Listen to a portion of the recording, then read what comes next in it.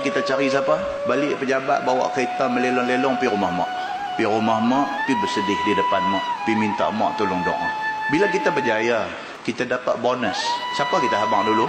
Bini kita kita habang dulu. Tapi bila kita gagal, kita berduka, siapa kita cari untuk jadi tempat untuk kita luah kedukaan kita? Mak kita.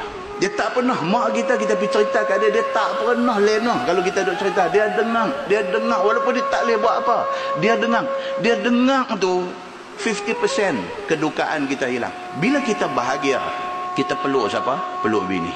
Bila kita berduka kita peluk mak kita. Bila nak pergi bercuti, bawa siapa? Bawa bini ya. Bila kita nak pergi kerja, bila kita sibuk, anak tinggal kat siapa? Tinggal kat mak kita. Orang tua tu dulu dia bela kita, hari ni dia bela anak kita. Bila mai kita punya anniversary. Anniversary ni apa tuan? Oh, ulang tahun perkahwinan. Kita beli hadiah kat siapa? Kita beli hadiah dekat bini kita. Tapi hari lahir mak kita. Hari lahir mak kita. Kita pun tak ingat bila. Nak cerita beli hadiah apa? Tak ingat pun.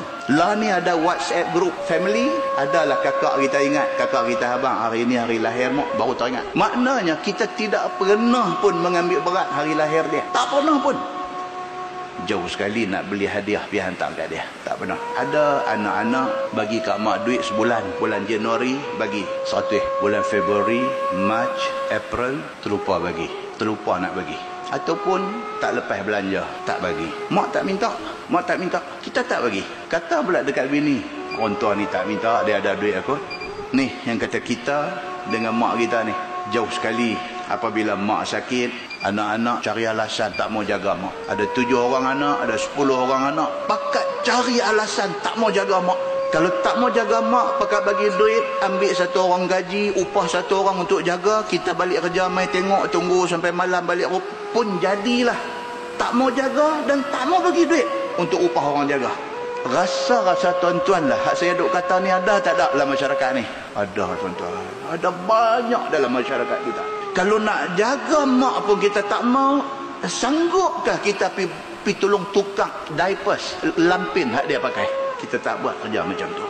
Sanggupkah kita nak dukung mak nak dukung ayah bawa api pancong bagi mandi? Kita tak buat kerja tu. Apatah lagi sanggupkah kita berhenti kerja kerana nak jaga orang tua ni? Tak mungkin kita akan buat benda tu. Sedangkan hadis kita baca tadi Nabi sallallahu alaihi wasallam bila satu orang main minta nak pergi jihad Nabi kata no hang ada mak ada ayah dah ada ada balik pergi berjihad dengan mak ayah hang. Pi jaga dia pi berbakti dekat dia. Hang boleh jaga dia bermakna hang berjaya dalam jihad hang. Pi jaga dia. Pasal apa?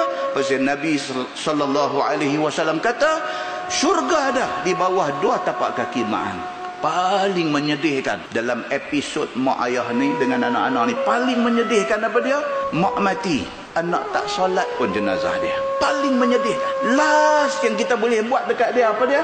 Kita semayang mayat dia kita doa kepada Allah minta Allah ampunkan dosa dia. Hak tu pun kita tak buat.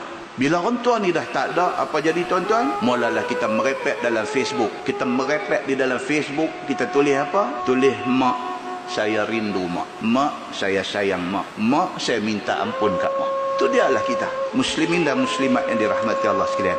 Hadis yang kita baca cerita kat kita banyak benda. Benda yang dipesan oleh Nabi sallallahu alaihi wasallam. Mudah-mudahan mukaddimah itu memberi manfaat kepada kita. Insyaallah